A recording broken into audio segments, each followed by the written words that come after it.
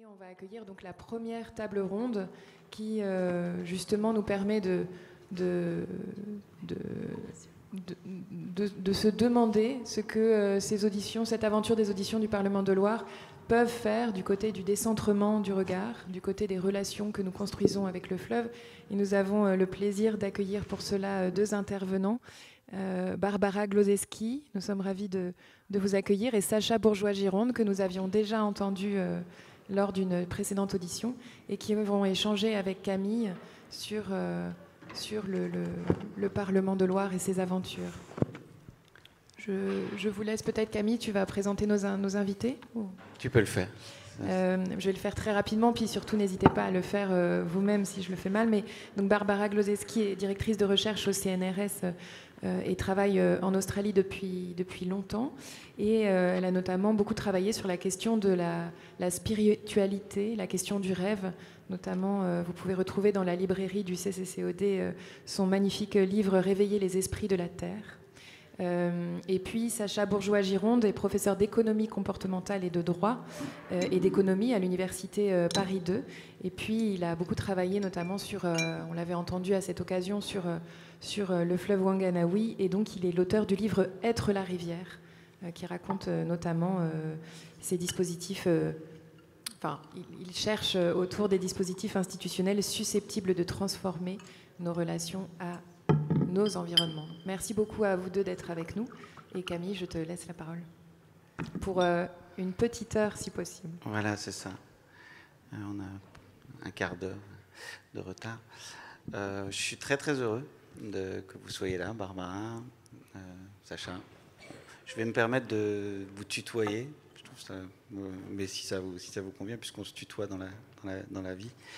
Euh, j'avais une question très courte, Barbara, euh, pour toi. Est-ce que tu as rêvé? Mais oui, j'ai rêvé. J'ai rêvé cette nuit euh, grâce au magnifique spectacle des bateliers. Qui l'a vu? Avez-vous rêvé? Voilà.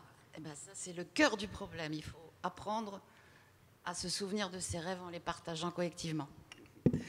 Euh, je, pose cette question parce qu'évidemment, c'est tout un, pan très très important du travail de, Barbara et, sur cette fonction du rêve euh, qui, qui, est très très, disons, distincte de la fonction du rêve telle que la psychanalyse l'a un peu pensée, euh, puisque c'est toujours cette dimension de collective du rêve et de voilà, donc peut-être que tu, tu y reviendras pour nous ça cette importance-là? Tu m'en as parlé hier.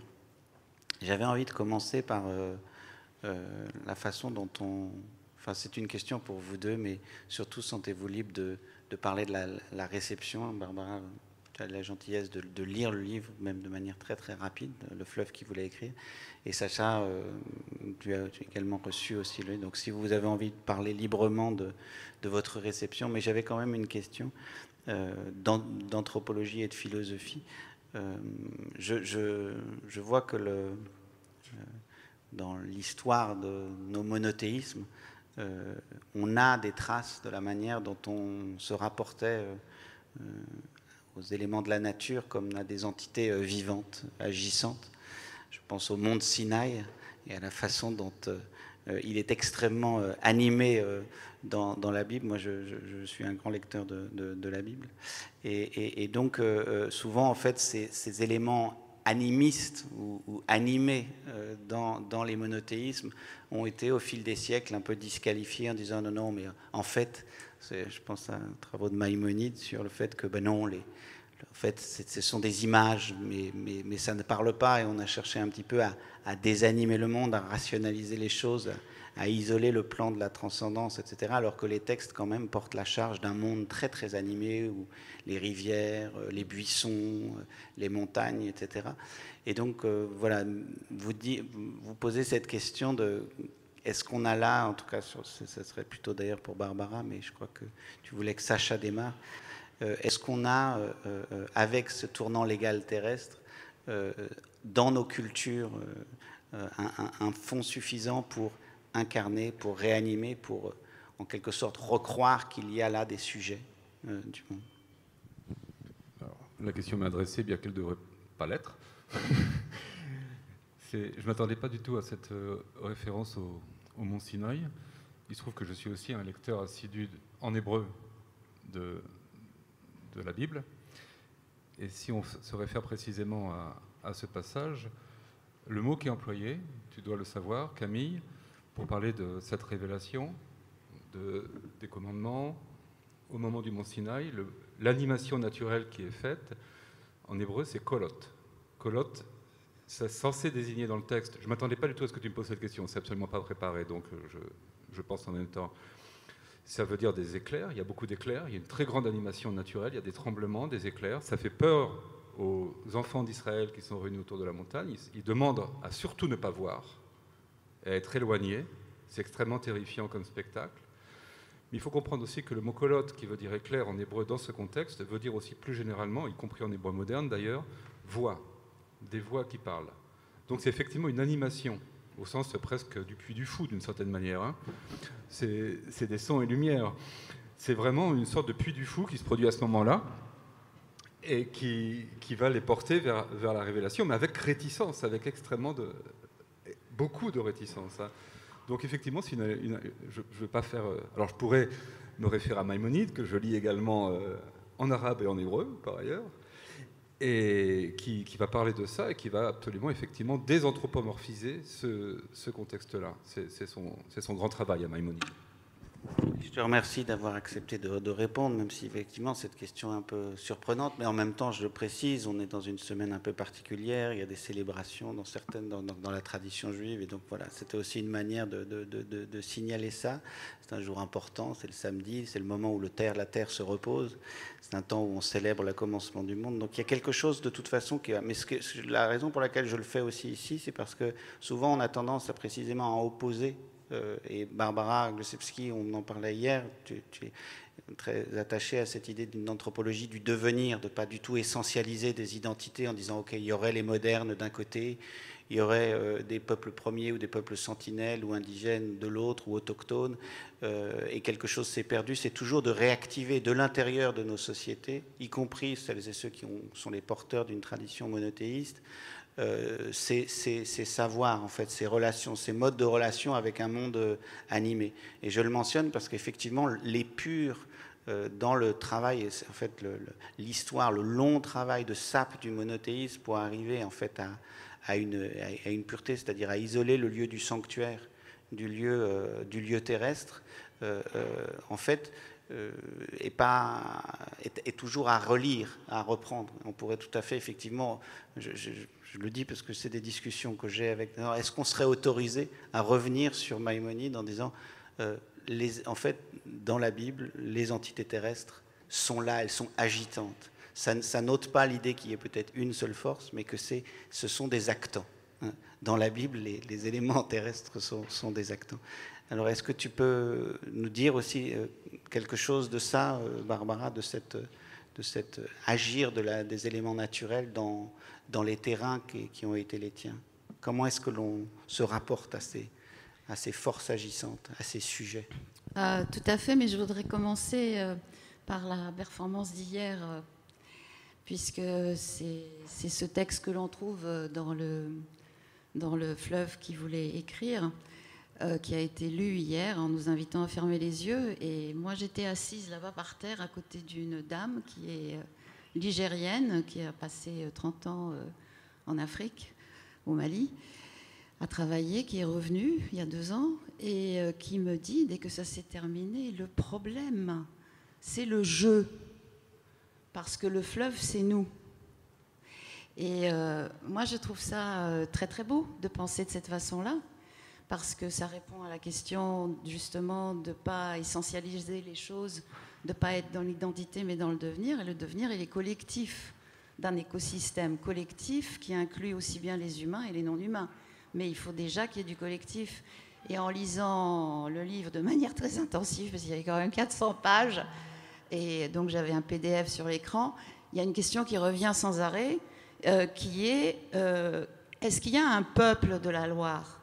Et euh, certains répondent oui, il y a le, un peu en référence à de Guattari, Le peuple qui manque, Le peuple qui vient, euh, qui a aussi suscité beaucoup de créativité artistique. Euh, par ailleurs autour de cette notion, bah, le peuple qui vient, ça ne veut pas dire qu'il est absent, ça veut dire qu'il est en action, mais aussi qu'il est en latence. Ça veut dire qu'il est là dans un inconscient collectif que l'on peut tous partager, sauf que, tu l'as mentionné Camille, avec la psychanalyse, on a extrêmement euh, égocentré notre rapport euh, au rêve.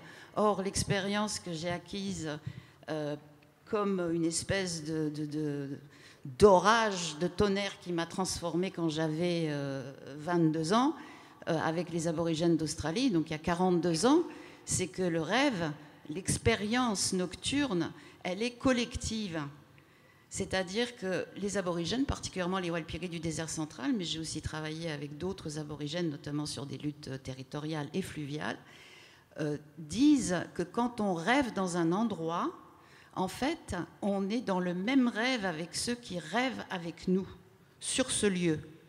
Et que donc, en se réveillant le matin, si on partage nos rêves dont parfois on ne se souvient pas du tout, mais il nous reste un mot, une odeur, une couleur, un son, et qu'on le dit aux autres, adultes et enfants, eh bien, en fait, les autres renvoient quelque chose dont ils se souviennent aussi, et si on continue l'exercice pendant une heure dans un cercle voilà, familial, euh, amical, eh bien en fait, l'inconscient nous rappelle des choses à l'écoute de ce, dont les autres se souviennent. Et au départ, il ne s'agit pas du tout d'interpréter. Ce qui se passe, en fait, c'est que le, récit se construit collectivement et, permet, et chacun c'est ce que disent les aborigènes, pas seulement les Walpiri, mais tous ceux qui pratiquent donc euh, ce, rêve actif de, réactivation euh, de ce que nous n'arrivons pas à penser, à conscientiser, mais qui se joue au quotidien, c'est d'arriver à comprendre que l'autre a des clés pour vous, qu'en fait vous ne rêvez pas que pour vous, sur votre petite histoire, mais que vous pouvez rêver pour vos voisins, pour, pour votre famille, ou plus euh, grandement. Par exemple, cet été, j'ai rencontré en Corse une mazzeri, c'est une tradition corse que certains d'entre vous connaissent, ou pas? Le fait de communiquer avec les morts et d'avoir des visions, et qui fait depuis deux ans des rêves apocalyptiques. Et donc ça ne veut pas dire que c'est que l'apocalypse qui a annoncé l'effondrement, mais les images et les sons que l'on entend en rêve, nous apprennent les aborigènes, euh, sont, une manière de décrypter autrement notre rapport au monde. Et la deuxième chose que je voudrais dire, parce que ça va dans ce sens-là, je ne sais pas, euh, on n'était pas très nombreux, il y avait une averse qui est une façon aussi pour euh, la pluie de parler, comme disent les Walpiri. Hein, autrefois, dans le vieux français, on disait aussi la, poussière poudroie, l'herbe verdoie.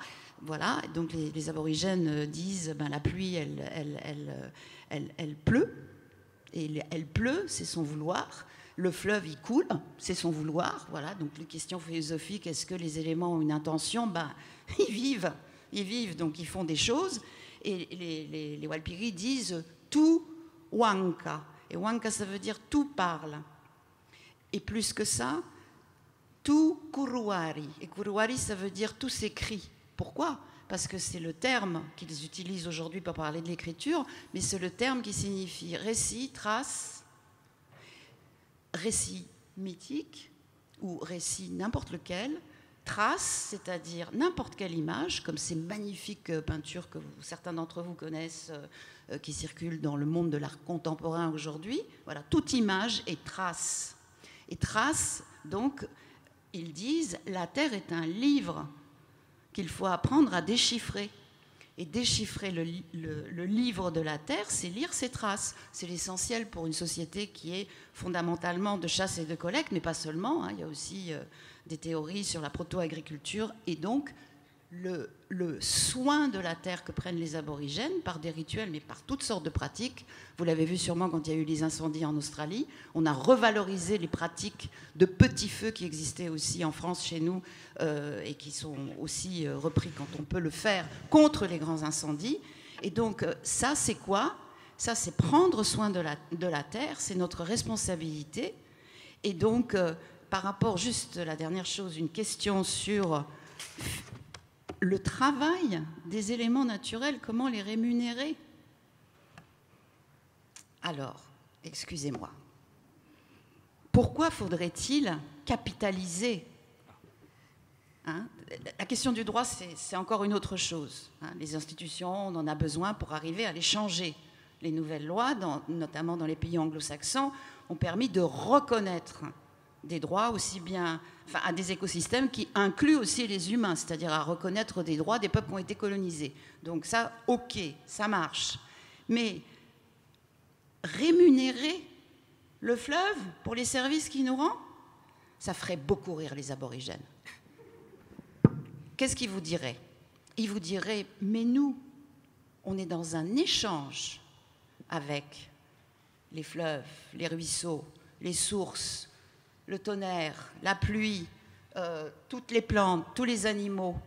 Et qu'est-ce qu'on fait en échange, si vous voulez, en anglais, du travail qu'ils font pour nous? Parce qu'on a besoin d'eau, on a besoin de manger des animaux, on a besoin euh, des plantes. Un exemple, pour faire des galettes, donc du pain, hein, des galettes, il faut des grains. Et ces grains-là, ils sont ramassés par les fourmis qui font des petits tas. Les femmes cherchent les petits tas et chaque petit tas correspond à une galette. J'ai parlé de ça à un moment dans une, dans une de mes présentations et quelqu'un me dit, mais finalement, euh, les hommes font travailler les fourmis. Ils n'auraient pas, ils pas de, de galettes si les fourmis ne travaillaient pas. Donc ça, c'est une forme d'exploitation. Donc les aborigènes, finalement, ce euh, c'est pas juste des chasseurs-cueilleurs qui prélèvent comme ça sans toucher à la nature. Ils sont dans un processus d'exploitation du vivant. Ok? Alors, ça aussi, ça ferait beaucoup rire les aborigènes. Enfin, ça les fait rire d'ailleurs parce qu'on en a parlé avec euh, certains qui viennent régulièrement ici, euh, notamment par rapport à des demandes de soins dans des festivals de soins. Ils disent, mais nous, on les gratifie, les fourmis. Ah oui, comment? Eh bien, on chante pour elle, on danse pour elle, on fait des rituels, on se rend sur les sites qui sont associés aux fourmis, et de même pour tout le reste du vivant, puisque tous les sites terrestres à travers l'Australie, des milliers de sites, hein, il n'y a pas que Uluru, le site sacré, sont des sites sacrés, chacun associé à un animal, à une plante, ou bien à ce que, à la pluie, ou bien au feu, ou bien au vent, ou bien en fait à tout ce qui est nommé pour nous dans la nature et la culture. C'est-à-dire il y a des sites qui sont associés euh, aux deux hommes. Les deux hommes, c'est qui? C'est les ancêtres des chamans qui se transforment en tornades. Il y a des sites qui sont associés aux deux femmes. Les deux femmes, c'est qui? Ce sont des femmes qui ont donné à deux euh, toute une série de, généalogies. Et donc, euh, ce rapport-là à la terre les, aborigènes, bon, ils sont plus de 500 peuples de langues différentes et avec des modes de voir les choses euh, différentes aussi, mais ils ont tous un point commun, c'est-à-dire qu'ils disent que la responsabilité des humains, c'est de chanter, de danser et de peindre, peindre le corps, mais aussi peindre des objets, et que si on ne fait pas ça, eh bien, on ne, permet pas à tout ce qui est vivant de se reproduire et qu'ils se considèrent, eux, comme responsables, en dehors du fait qu'ils ont été colonisés, massacrés, déplacés, etc., du fait que si l'on les a obligés par les missionnaires, au nom de la Bible, à arrêter leurs rituels, que c'est pour ça qu'il y a beaucoup de choses qui vont très très mal en, Australie. Hein. pas seulement les incendies, mais la sécheresse, etc. Et que donc c'est eux qui sont responsables, disent-ils. Les Polynésiens disent la même chose quand des lois sont enfreintes, et ça c'est le mot final, tout ça là, cet espace-temps du rêve, parce que le lien entre les humains, ces sites et tout ce qui est nommé dans la nature et la culture, c'est ce que, c'est des kuruari en walpiri, il y a l'équivalent dans d'autres langues, mais c'est ce que, littéralement, étymologiquement, en walpiri, chukurpa, c'est le rêve, mais ce n'est pas le rêve compris comme chez nous. Mais ça ne veut pas dire que nous ne pouvons pas comprendre le rêve comme les aborigènes le comprennent, c'est-à-dire comme un espace-temps en devenir constant. Ils considèrent chacun que nous avons des ancêtres hybrides. Je vous donne un, exemple. Il y a par exemple le peuple émeu. Le peuple émeu, ce sont des humains qui ont des choses à faire, à chanter, à danser, à peindre, pour que les émeux continuent à se reproduire. Mais l'ancêtre commun des émeux d'aujourd'hui et des humains émeux, en devenir émeux, c'est un oiseau géant qui a laissé des traces. Qu'est-ce que c'est ces traces? C'est une immense flèche comme ça, qui fait des lignes, que l'on peut voir par exemple au nord-ouest de l'Australie, dans l'océan Indien, quand la mer deux fois par an se retire très loin, on voit dans les, dans les rochers cette trace de l'époque où les pierres étaient molles, le sol était mou. Et qu'est-ce que c'est ces traces pour les scientifiques? Des dinosaures à plumes, 21 espèces. C'est intéressant. Ne sommes-nous pas les descendants des dinosaures aussi? Sauf que ce que les aborigènes disent, et ça nous ramène au nous, c'est que chacun, en fait, est une ligne différente. Une ligne différente individuellement parce que il ou elle incarne quelque chose qui est nommé dans sa, dans sa langue et qui est lié à un lieu particulier, mais la personne n'existe que parce qu'elle incarne collectivement aussi avec une responsabilité une de ces lignes. Les uns sont émeux en devenir, les autres sont pluies en devenir, les autres sont kangourous en devenir, et pour une société qui fait rarement en Australie plus de 4000 personnes, il y a plus de 200 devenirs qui font société et chacun a besoin des autres. Il n'y a pas une hiérarchie entre la pluie, les kangourous et les ignames. Voilà. Donc ça, c'est un mode, c'est leur mode de gouvernance. Et pourquoi je parlais de ce méandre de magie, dialogue avec Loire? Ce sont quatre jeunes qui étaient Barbara. Étudiants. C'est pour rendre hommage. Je, voudrais juste qu'on garde. Non, non, vas-y, vas-y, vas-y. Termine. ce, sont quatre, ce sont quatre jeunes qui ont présenté il y a deux jours. Je suis venue pour ça à l'île Simon. Euh, donc euh, leur expérience d'avoir traversé, d'avoir descendu la Loire. Euh, c'était des jeunes d'une école de, paysagisme et ils ont eu l'idée de descendre la Loire en radeau. Certains d'entre vous connaissent peut-être l'expérience et ils l'ont restituée il y a deux jours. Et en fait, ils ont fait exactement, ils ont répondu d'une certaine façon à une question qui traverse le livre, qui est comment est-ce que l'on peut euh, est-ce qu'il y a un peuple? C'était ça la question tout à l'heure. Mais surtout, est-ce que nous pouvons, nous, ressentir des choses vis-à-vis du fleuve qu'on habite? Comment on le ressent? Eh bien, il y a plein de choses à faire. On s'y baigne, on navigue dessus, et on le ressent, et on le rêve. Merci. Merci, Barbara. Euh, merci. Euh, Sacha, enfin, je, dis juste un mot sur ce qui, a traversé et qui fait écho à ce que tu viens de dire. Il y a, quelque chose qui, passe par euh, réinstruire nos affects, nos sensibilités, les penser autrement, sortir en fait de cette découpe individuelle. Tout, un courant qui va penser plutôt des transpersonnalités, l'idée qu'on est, nous sommes la rivière et la rivière est nous, et cette redécouverte depuis une histoire moderne qui a beaucoup découpé et séparé, y compris le rêve, puisque le rêve au XXe siècle, c'est vraiment une découpe qui est rabattue sur l'individu, là où en fait on cherche à rouvrir par beaucoup de, changements, de métamorphoses, à redécouvrir ces transpersonnalités.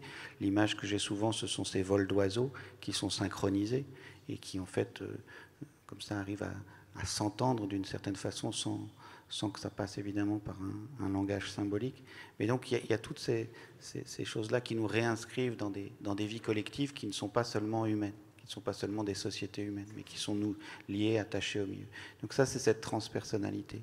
Et de l'autre, euh, tout au long du processus des auditions du Parlement de Loire, il y avait une question sur les rapports de, quand même sur les rapports de force, sur euh, euh, qu'est-ce que l'on fait et qu'est-ce que fait le droit moderne à la Terre. Euh, justement par ces différentes découpes et comment est-ce que l'on arrive par le droit à corriger euh, ou à changer ou à transformer euh, ou à agir sur ces, sur ces rapports de force pour organiser les puissances d'agir autrement. C'est l'objet du droit d'essayer de, réguler autrement et de corriger des, effets justement de, force et de, rapport de force. Alors dans ce sens-là, j'aimerais, Sacha, revenir aussi à ton terrain. Euh, euh, comment, euh, on va redire un petit peu ce qui était déjà dit dans l'audition, mais comment tu as perçu cet exemple Wanganawi Comment est-ce que tu as perçu ce terrain? Est-ce que tu peux expliquer à celles et ceux qui sont là la manière dont les Iwi Wanganawi ont organisé cette volonté, cette intentionnalité de la rivière, ce rapport à la rivière, et avec ce, visage humain qui lui a été donné par la loi néo-zélandaise de, 2017, si, tu, si ça te convient comme chemin. c'est un chemin possible, effectivement. Je vais l'emprunter, non pas du point de vue du terrain réellement, parce que le mot terrain relève de, sciences que je ne pratique pas, que ce soit l'anthropologie ou la sociologie, ou même la géographie. C'est c'est pas c'est pas forcément le, le, mot qui convient à, à, mon type de travail puisque mon travail est, très analytique, philosophique et ensuite il va toucher à des domaines comme euh, l'économie, voire certains aspects juridiques. Donc je vais rester sur mon terrain pour pour dire ça. Et ce qui m'a amené là-bas, c'est des questions qui ont été qui ont été évoquées là à l'instant même par toi et par Barbara que je que j'appelle en termes de conversion et de décentrement au sens de la première personne. Si j'ai un objet qui, fait le fil conducteur de, mon travail depuis euh, mes études en philosophie jusqu'à aujourd'hui, c'est la question de comment sortir de la première personne, en fait. Et donc ma thèse, à l'époque, en philosophie, a porté sur le cogito cartésien, précisément. Et tout à l'heure, je me suis promené dans Tours parce que je, je, déambule.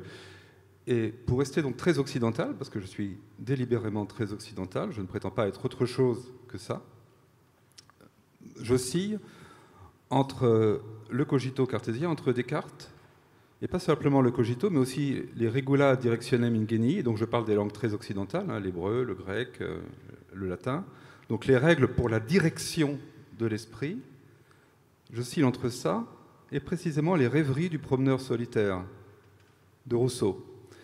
Donc c'est toute cette bascule qui m'intéresse philosophiquement et qui m'a amené ce qui m'a attiré d'abord, c'est cet acte de loi, effectivement, Wanganui, donc euh, Te Awatupua. Qu'est-ce que c'est de donner la personnalité juridique à la rivière? Donc déjà comprendre un petit peu cette notion qui n'est pas, pas si simple. Et ensuite, la devise maori, évidemment, que, vous avez rappelé hier à la fin de la performance et que vous avez répété, je suis la rivière, la rivière et moi. Moi, j'ai beaucoup de mal à dire ça. Je ne peux pas dire ça. Je viens de le dire, je suis occidental et je prétends pas être autre chose. Je ne peux pas dire ça. Ça, ça serait faire semblant, ça serait prétendre pouvoir dire ça. Mais je fais cet effort de comprendre le geste de conversion mentale, physique, institutionnelle, donc pas simplement moi, mais aussi les institutions, qui peuvent amener à dire ça, que ce soit sous la forme d'un nous, d'un collectif, ce qui est tout à fait possible, ou d'une première personne, puisque je pars de la première personne. Comment ne pas être maître du monde et maître de son environnement immédiat? Comment pas être maître de ce qui, maître de ce qui d'avoir le dominium sur ce qui m'entoure. Donc j'ai cru pouvoir pressentir ce décentrement dans le rapport, dans la relation, c'est une relation, c'est une, c'est, une ontologie relationnelle des, de certaines tribus maoris, de certaines iwi maoris à leur rivière. J'ai voulu comprendre ça. -dire, euh, à la fois, ils peuvent dire jeu, mais à la fois, c'est pas un jeu qui est un jeu comme celui de Descartes, précisément. À la limite, c'est presque un jeu comme celui de Rousseau, d'une certaine manière. Donc ça, ça m'a beaucoup intéressé. Je suis parti de ça. Mais pour comprendre ça, il faut comprendre euh, l'histoire après. Donc, pour comprendre le Tewa Tupua, donc le Tewa Tupua, c'est l'acte de loi en 2017 qui a personnalisé le fleuve Wanganui, que j'appelle rivière au féminin parce que c'est une rivière femelle. C'est pas une plaisanterie. Quand j'ai discuté avec, euh, avec des représentants maoris, des députés, des, gens du, terrain pour le coup, enfin du lieu, on m'a expliqué ce que je ne pensais pas au départ pouvoir concevoir que c'était pas un mâle cette rivière, c'était une dame, une femme. Et d'ailleurs la preuve que c'était une femme, c'est qu'aucune femme ne s'est jamais noyée d'après eux dans cette rivière. Par contre les hommes, ils pouvaient mourir à loisir et étouffer et, probablement on en trouve plein dans le fond qui sont là en train de lever la main comme il y a sur cette main là sinistre sur la Loire que j'ai repérée quand je l'ai vue ce matin. Vous voyez de quelle main je parle sur les bancs de sable. Je ne sais pas si elle est en hommage à tous les noyés masculins qui en tout cas, ça m'a fait cette impression. Et j'ai pensé à cette rivière là-bas où aucune femme ne se noyait. Donc, euh, je ne sais plus quelle était ta question, parce que je suis plus dans la promenade solitaire que dans la concentration d'essayer un petit peu de, de, de, redire, si tu veux bien, euh, euh, comment ils ont organisé. Ah, comment, ils ont organisé. comment ils ont organisé le visage humain de la rivière et, et, et, quelle Soyons est cette, cette, Non, non, mais c'était très bien d'en passer par le jeu. D'ailleurs, les littéraires savent que jeu est un autre.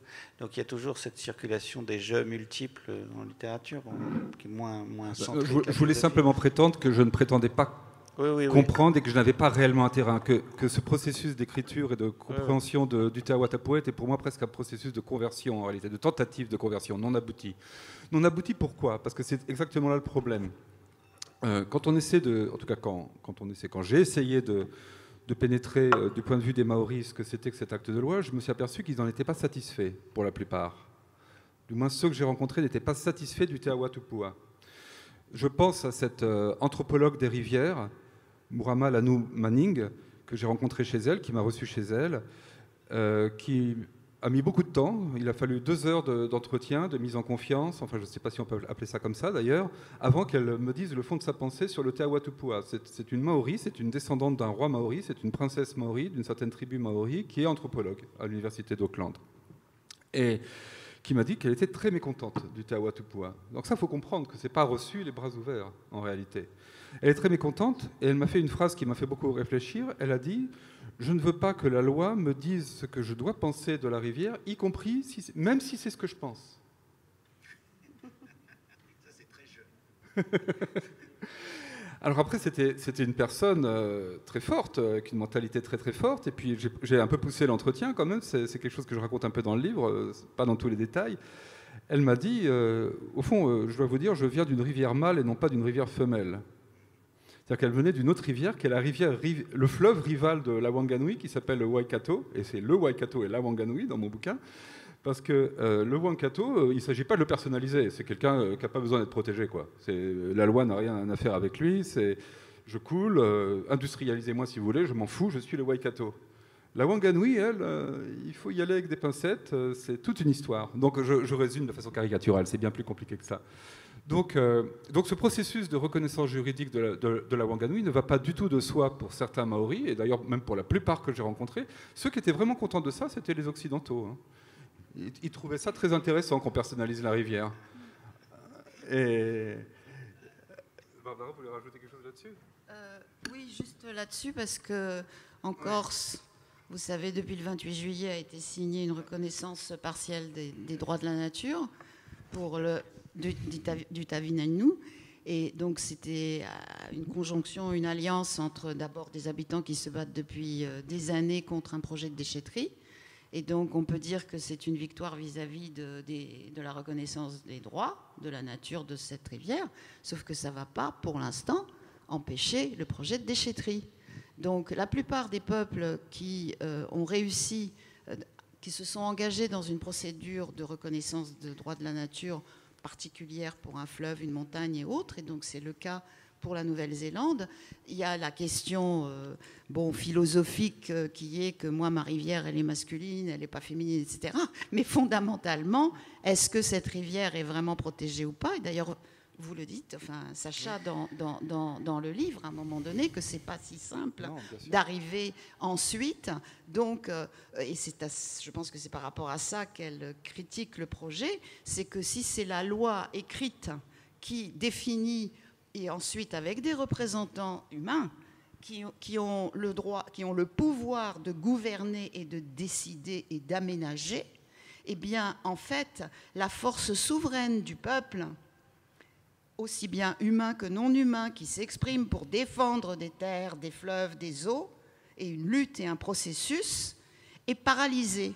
Et ça, c'est exactement l'expérience en Australie, mais depuis maintenant 30 ans, où beaucoup d'aborigènes se sont battus pour une reconnaissance des droits à la terre qui incluait des droits à l'eau, les ont obtenus avec l'Australie qui est très riche, qui a fait toutes sortes euh, d'institutions, avec beaucoup de gens engagés, des juristes, des, des, anthropologues pour faire des revendications territoriales qui coûtent une fortune, mais qui ont divisé les communautés qui, les ont obligés à s'incorporer comme association, c'est-à-dire à se déclarer. Sinon, en tant que groupe collectif, elles n'étaient pas reconnues.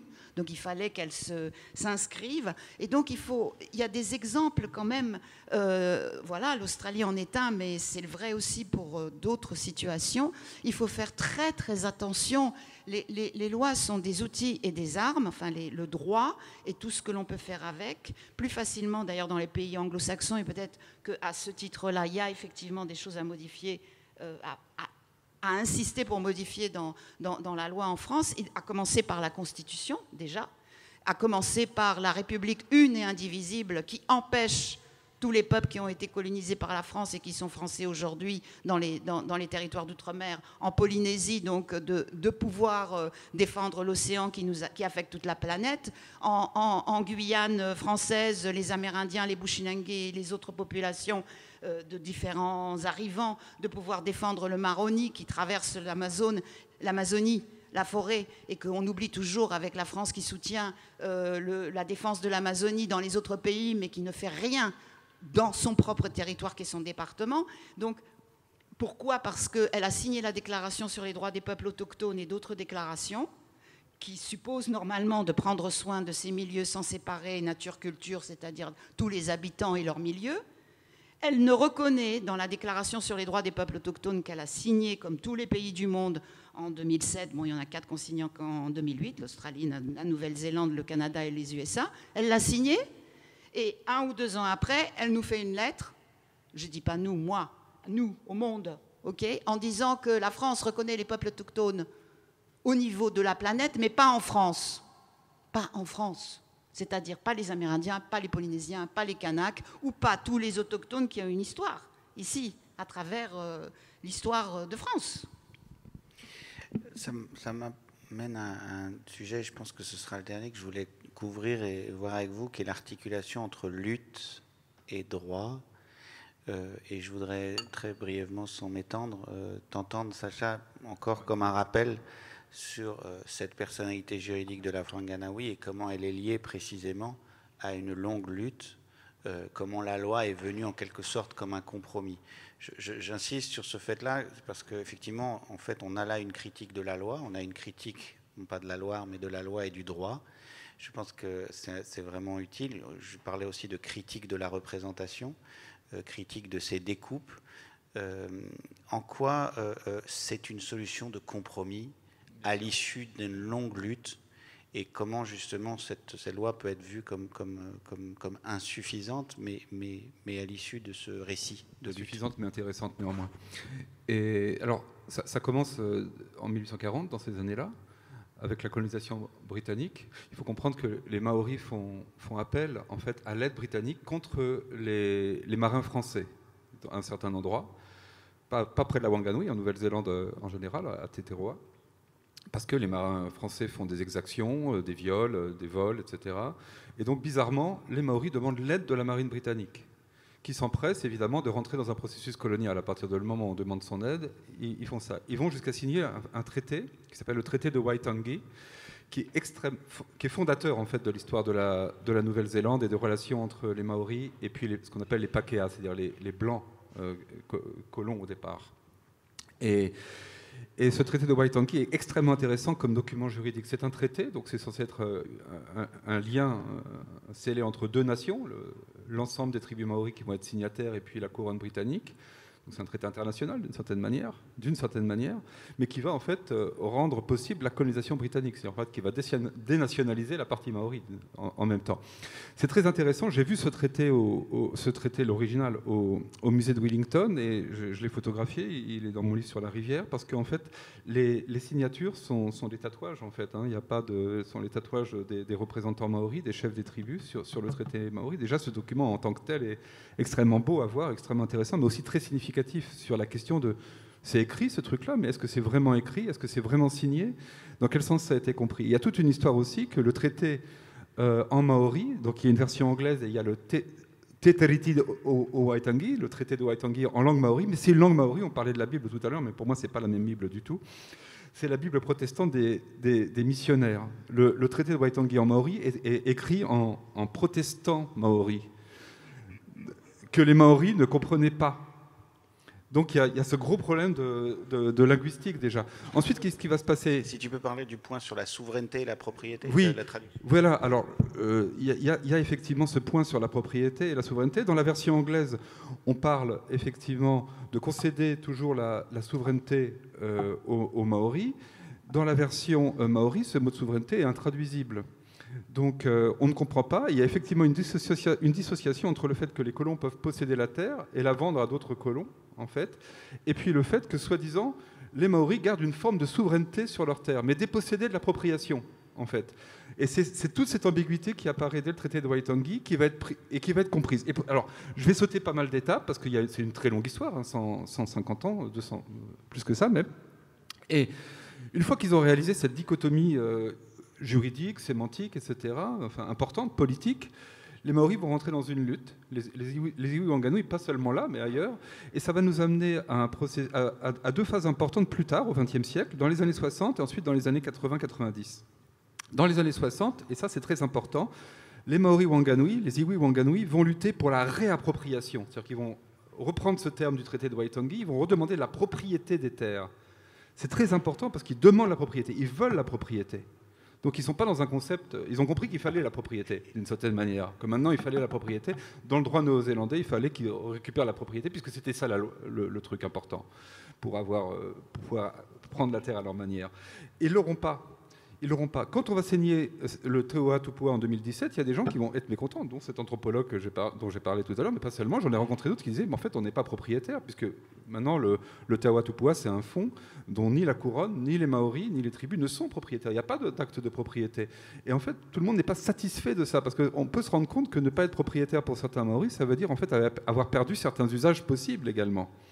Donc ça pose un problème. Et les années 90 et 80 sont importantes pour un processus qu'on a appelé le tribunal de Waitangi. Le tribunal de Waitangi, c'est reprendre en compte toutes les plaintes des Maoris au cours des âges, au cours des décennies qui ont précédé, et essayer de les faire remonter au Parlement pour voir si on peut légiférer autrement. Donc ça va passer par un processus législatif en Nouvelle-Zélande, hein. pas par un processus constitutionnel, mais par un processus euh, législatif. Et c'est ça, ça qui va aboutir au Teo Awutupu. Alors c'est un compromis. C'est très intéressant, j'allais assez vite.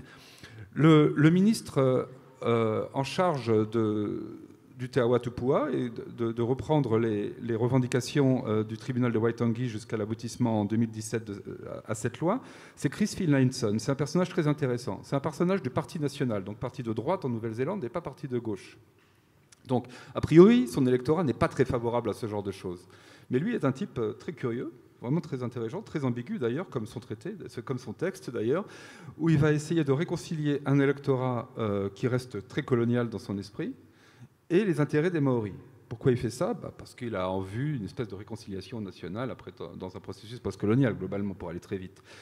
Euh, à partir du moment où c'est un compromis qui va aboutir sur ce apparemment, on est tous un peu fanatiques du Tawatupua, mais on ne se rend pas compte que derrière, c'est plein de conflits, que c'est extrêmement tendu, et que tout le monde n'est pas satisfait de ça, ni, en fait les nationalistes, Pakea, blancs, ni, comme je l'ai dit déjà, et je vais encore le répéter, ni complètement les Maoris. En fait, déjà la, notion. Alors, déjà parce que c'est donc c'est un processus de réconciliation en fait ce traité. par ailleurs, il accorde la personnalité juridique au fleuve, mais ce qui fait réellement, c'est de reconnaître en partie une vision humaine de la rivière. Et la notion de personnalité juridique n'est pas complètement adéquate à cette vision de la rivière, comme membre de la famille, comme ancêtre, comme lien généalogique. Mais c'est un compromis au sens où cette notion de personnalité juridique est dans le Tawatupua semblait correspondre au plus près, au plus acceptable, sans l'être complètement, de ce qui constitue la relation des Maoris à cette entité, cette relation de parenté, pas forcément personnalisation juridique. Donc avec le droit, on arrive à approcher des choses, mais on ne satisfait pas complètement les gens. Merci infiniment. Je, dis un, mot et je, te passe la parole et ce sera le, dernier euh, temps de parole. Parce que nous avons commencé 15 minutes. C'est ça. Donc, donc, donc, donc, donc, exactement. Donc, il reste 15 minutes là pour, euh, pour toi, si tu veux, et pour Sacha, s'il veut encore répondre. Mais c'est ce, c'est simplement, oui, effectivement, ce, ce lien lutte, enfin, est aussi dans le sens de réveiller les esprits de la terre. C'est ce, lien lutte et, incarnation euh, juridique sur lequel j'espère que tu, pourras euh, euh, parler, et, pas seulement depuis des terrains aborigènes ou autres, mais aussi depuis des terrains de lutte que sont, tu as été, je crois, à Notre-Dame-des-Landes et, dans d'autres terrains de lutte, et voir comment ça, le droit pourrait justement ou pas être une, issue et souvent d'ailleurs une issue effectivement insatisfaisante, toujours insatisfaisante, puisqu'il s'agit de faire des compromis. Euh, voilà, mais à l'issue de, terrains de, lutte. comment ce lien, ces attachements sont souvent, se forgent non pas seulement à partir de l'identité, ou à partir d'une notion identitaire, mais à partir d'un devenir dans, dans, la lutte. Alors je voudrais juste euh, enchaîner sur cette histoire de traité. C'est très très important parce que tout le destin et les possibilités d'action de, la planète aujourd'hui sont liées à l'histoire de la colonisation avec des traités en droit. Et donc, euh, si ça a été possible pour les Maoris d'arriver à un compromis qui en satisfait certains et qui n'est pas la fin de la lutte, c'est parce qu'il y a eu un traité de signé, comme euh, en, en Amérique du Nord. Alors que ni en Australie, les Britanniques n'ont signé de traité avec les aborigènes, ni en Guyane française, les, Français n'ont signé de traité avec les Amérindiens. Et pourquoi? Parce que à l'époque, un autre concept dont on a hérité et qui est très très prégnant aujourd'hui et qui concerne toutes les luttes en fait, c'est la notion de terra nullus. Terra nullus, ça veut dire terre non habitée. Et c'était une projection, ben, en partie liée euh, au grand partage, qui consiste à dire que dès lors que des humains n'ont pas l'air d'exploiter la terre par l'agriculture ou de construire euh, de l'habitat sédentaire, ils ne sont pas des habitants. et terra nullus, c'est dans notre constitution française. Et les Amérindiens d'Amazonie se battent contre ce concept et les aborigènes se sont battus contre ce concept et ont gagné. Donc oui, il y a des victoires euh, de droit qui sont essentielles. C'est un jardinier des îles de Torres, donc un mélanésien en fait, hein, mais qui fait partie de l'Australie, donc et des autochtones australiens, donc des îles qui sont pas loin de la Papouasie-Nouvelle-Guinée, mais qui font partie de l'Australie. Il s'appelait Eddie Mabo, qui était jardinier à l'université de James Cook University et qui est devenu ami avec un historien qui lui a ouvert les portes de la bibliothèque, lui a passé des livres, et il est tombé sur cette notion de terra nullus, et il a dit, mais qu'est-ce que c'est que ce truc-là? Nous, nous, on était habitants de, nos îles, euh, mères et les autres îles euh, dites de Torres euh, du fait de la colonisation. Moi, je, je veux remettre en question ça. Il y a des avocats qui, bénévolement, comme beaucoup d'avocats engagés dans les droits de la nature aujourd'hui, ont décidé de l'accompagner. Ça a duré 12 ans. Il est mort d'un cancer avant la victoire. Mais la victoire de ce procès a fait jurisprudence et a obligé la constitution australienne à changer en 1993 et ça s'appelle la loi Mabo. Donc ici en France, on doit soutenir cette remise en question du terra nullus, d'une part pour sauver l'Amazonie qui nous concerne tous, et donc pour la Guyane française, mais aussi par rapport à la Polynésie, mais surtout pour donner un fondement à des luttes de, droits de la nature des fleuves et des autres milieux que, tous les gens veulent, défendre euh, et, ménager. ça, c'est un truc important. Je ne sais plus quel est son nom, mais hier j'ai assisté à une série d'ateliers. Il y avait un intervenant sur la Drôme. Est-ce que, que la personne est présente ici? Non, je ne sais pas. Bon, bref, qui nous disait le grand problème avec l'aménagement du territoire, c'est qu'il s'agit d'aménager et non pas de ménager. J'ai trouvé ça très joli parce que ça renvoie à la question du soin, à la question là, de l'économie, est-ce qu'il faut rémunérer euh, le travail de la nature, etc. Ben, ça, renvoie à notre responsabilité. Qu'est-ce que ça veut dire? Non pas d'aménager le territoire, mais de le ménager. Hein ça, veut dire euh, empêcher les pollutions et, lutter. Et donc tu faisais référence à mon livre euh, Réveiller les esprits de la Terre donc euh, j'ai fait beaucoup de livres avant, mais ce dernier-là qui est sorti il y, a, trois mois, quatre mois, je ne sais plus, aux éditions dehors, c'était une commande des éditions dehors. Les éditions dehors, c'est particulièrement euh, Kong, qui est très très actif dans le Limousin, qui organise là-bas tous les étés des rencontres où on est 200 à réfléchir à toutes ces questions, euh, à toutes ces questions dont on parle là en ce moment et d'autres, mais par rapport aux luttes particulièrement aux engagements au ménagement de la terre et non pas à, et l'aménagement. Et donc, euh, il m'a fait passer commande parce que j'avais parlé euh, du chamanisme australien en particulier, mais aussi des questions de réparation. Et moi, je me suis dit, je veux bien écrire un livre, mais euh, là, depuis, depuis les choses auxquelles on, on assiste ici en France, je me suis effectivement impliquée à Notre-Dame-des-Landes, où je suis allée de très nombreuses fois. Et, ça, ça un peu, comme, comme mon expérience avec les aborigènes il y a 42 ans, ça m'a ça m'a remis les pieds sur terre pour le coup de la terre que j'habite ici en France tout en étant une migrante, hein, parce que je suis arrivée à, 5 ans de Pologne. Et donc, euh, je me suis sentie d'un seul coup euh, investie de ces questions-là, ici, euh, par rapport au fait de mettre en lien et en alliance différentes luttes, et donc aussi avec tous ces activistes, que ce soit dans le Limousin ou à Notre-Dame-des-Landes, de leur dire il y a des réponses dans les luttes des peuples autochtones. Il ne s'agit pas d'imiter. Euh, dans, le livre aussi, à plusieurs reprises, il y a cette discussion. Est-ce qu'on doit euh, s'inspirer des aborigènes ou s'inspirer des Maoris par rapport à l'animisme Ce n'est pas ça la question. La question, c'est que, un, il faut s'allier parce qu'on a des ennemis communs qui sont pas forcément euh, que des entreprises et des États, mais qui sont aussi le résultat. Notre ennemi, c'est ce que nous avons fabriqué tous, et d'une certaine façon, on en est responsable. Donc, se battre contre ce qui affecte toute la planète nous concerne tous. Et le fait que les peuples autochtones sont sur des terres de la plus grande biodiversité, mais aussi de là où sont extraits tous les, tous les minerais dont on a besoin pour vivre comme on vit aujourd'hui, donc ce qui suppose, pour que ça s'arrête là-bas, qu'on vive autrement ici, qu'on ne produise plus de la même manière, etc. Donc ça déjà c'est une alliance.